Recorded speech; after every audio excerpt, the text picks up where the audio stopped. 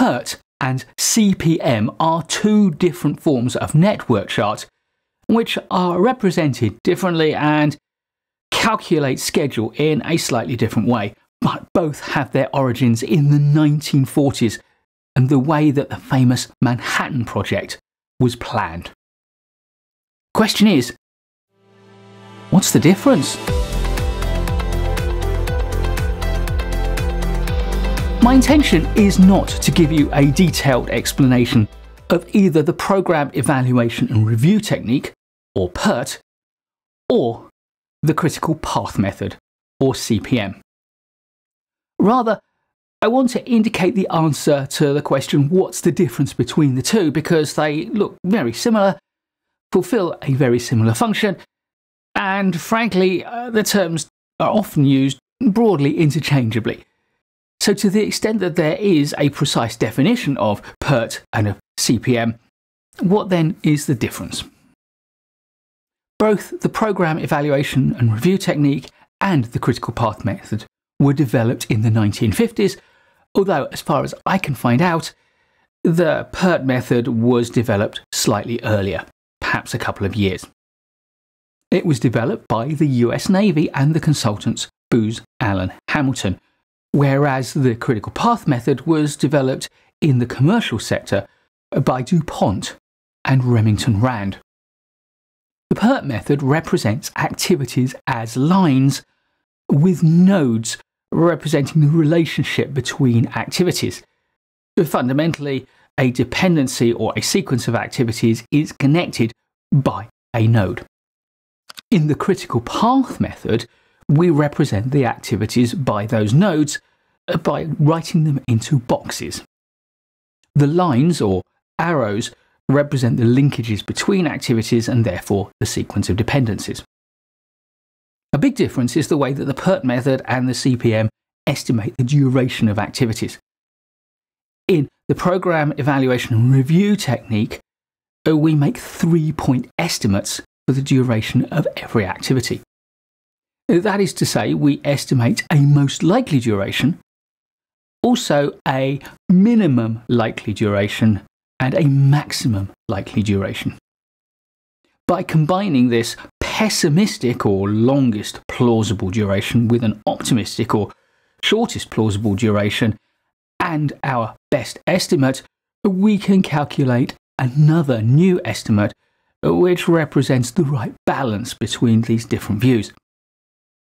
There are numerous simple calculations that can be applied, but the most common is to take 1 times the optimistic estimate plus 4 times the base estimate plus 1 times the pessimistic estimate and divide all of that by 6. Typically, we would not expect the distribution of estimates to be symmetric. That is to say, that usually I'd expect that the pessimistic estimate would be further from the most likely estimate than the optimistic estimate. There are a number of different ways that we can calculate our expected duration uh, based on these three estimates. The most common is a simple calculation which adds together 1 times the optimistic, 4 times the most likely, and 1 times the pessimistic estimate and then divides by 6.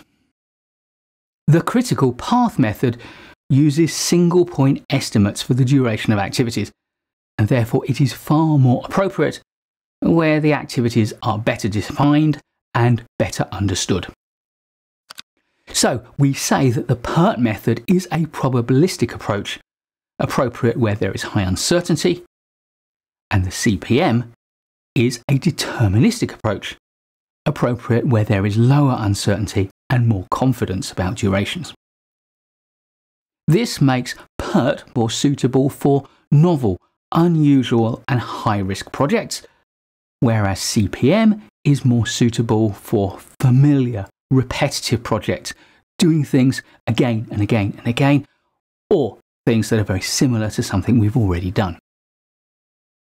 PERT was originally designed to optimize and control the schedule only. And it does this by understanding the spread of possible schedule outcomes for each activity.